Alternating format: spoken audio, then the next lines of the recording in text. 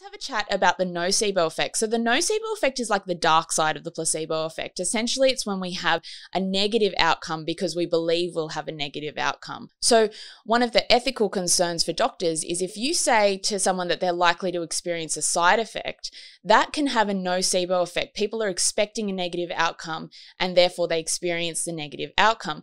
Three super interesting experiments. Two of them are from a video by Ben Goldacre, which is awesome.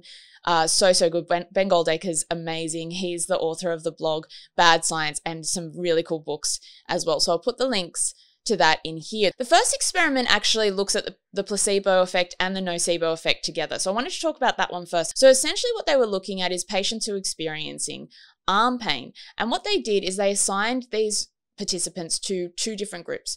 In one group, they gave them a pill and they said, This pill will help with your arm pain. And in the second group, they did sham acupuncture, whereas essentially that is, it's not about putting the needles in any specific place. They just put the needles anywhere and they say that that will help with the arm pain. And what they saw happen was that both groups said that they felt better after receiving the treatment. But also, both groups experienced these nocebo effects and they weren't even told about them. So they weren't told that there would be any side effects, they weren't told there would be any bad effects, but the participants from both groups said they felt sluggish from receiving these treatments uh, that were actually not treatments, they were just placebos.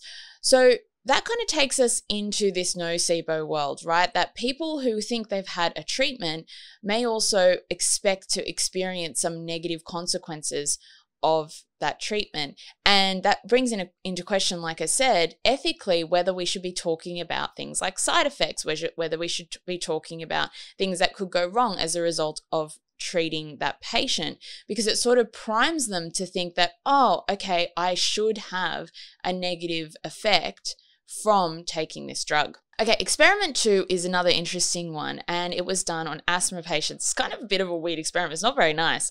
Uh, nocebo is a hard one to study because you don't really want to make people have you know, bad experiences. And so the ethics around it is quite tricky. So for one group, what they did is they sat participants down and they basically put this saline nebulizer on their face. Now, saline solution sort of mist going into uh, the lungs of an asthma patient doesn't really do anything, right? Like good or bad. It kind of just has no effect, right? Um, and then they took participants in the other group and they said they did exactly the same thing. And they said that this uh, nebulizer has an irritant in it, it has an allergen, and 50% of respondents had an asthma attack as a result of thinking that they were being exposed to an allergen. A bit of a nasty experiment, but demonstrates the point that this nocebo effect is very, very real. This has a physiological effect, like we were saying in the placebo effect as well. So then these experiments were taken one step further, and this is where it starts to get really, really interesting. So if we look at that asthma example, instead of having something that has no effect, what experimenters now did is they started looking at giving patients active ingredients that would have an effect. Now, they tested both the placebo and the nocebo. So, asthma participants were divided into two groups.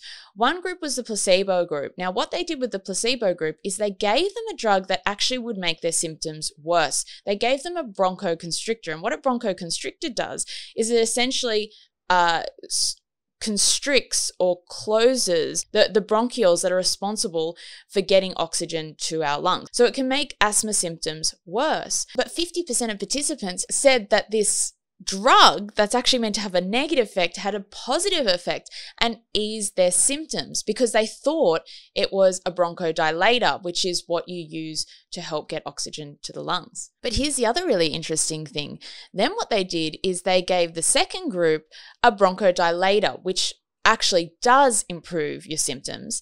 And they said, we're going to give you a bronchoconstrictor, which asthma patients know can make them feel worse. And just by saying that, the effect of that bronchodilator in easing the symptoms reduced by 50%. So just the wording that's used has a massive impact on how the patient feels. Now, the third nocebo experiment I want to explain to you sort of takes this to a whole new level. Now, they ran this experiment with six different groups. Half of the groups received a sugar pill, like a placebo effect pill, and the other half received a drug called carisoprodol. And what carisoprodol does is it's a muscle relaxant. Now, let's talk about the placebo groups first. So, one group was told that they were getting a stimulant that would actually make them feel really tense. Another group was told that they were getting a relaxant that would make them feel relaxed.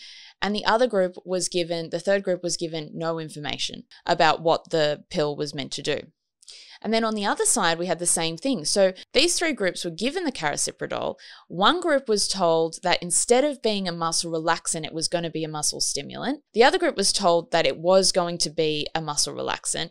And the other group was given no information. So in the placebo group, the people who were told that they were receiving a stimulant were the most uptight and tense as a result of being told that information. But the really interesting part is what happens on the other side of the experiment. So in the three groups that were given the muscle relaxant, the group that was told they were receiving the stimulant were the most uptight out of all six groups. So even though they were given something that was a muscle relaxant, their belief that they were receiving a stimulant actually worked against them more so than in the placebo group.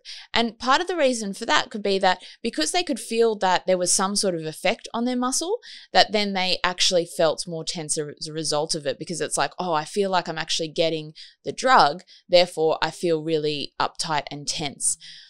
So they were the most tense, even though they got the drug that should have made them feel relaxed. But the other interesting thing is that the group that received the muscle relaxant that were told they received the muscle relaxant had the highest level of the muscle relaxant in their bloodstream because they received that treatment and then they were told that it worked and therefore it had more of an effect. Now, this brings up some really interesting questions in terms of what we should be doing when it comes to how we talk to patients. And as someone who works in business, it also makes me think about how we should talk about the results that we get for our clients because people believing that through through going undergoing a certain process things will work better actually have more of an effect so you could argue that something like homeopathic medicine which is essentially just like taking a sugar pill could be quite a good thing because it doesn't harm patients, but it could have this sort of positive placebo effect. However, if you don't contextualize that correctly, and if you're a homeopath that's saying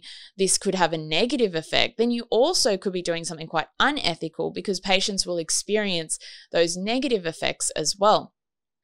On the other side, when it comes to doctors treating patients, a lot of the time doctors need to think about, you know, how how they communicate things like side effects and also the effectiveness of the treatment. We know that if patients believe that the treatment's effective, then therefore they're going to actually potentially benefit more from that treatment. So, should doctors be th- saying things like, look, this has a 30% chance of working, or should they say, this is going to be brilliant, this is going to solve your problem, even if they're kind of lying?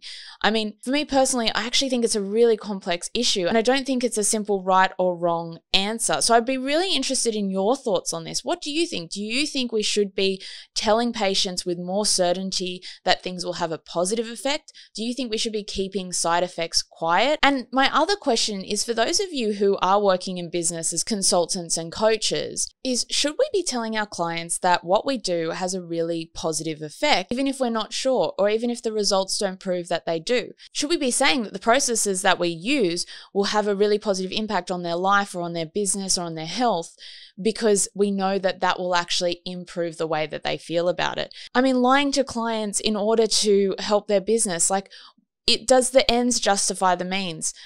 Really interested in your thoughts on that one as well. I'll see you soon for another episode of What Science Says. If you want to also learn about the placebo effect, you can check out part one of this episode here. If you enjoyed this video, please hit the like button and make sure you subscribe to my channel and hit the notification bell so you can keep up to date with all the latest content from my channel.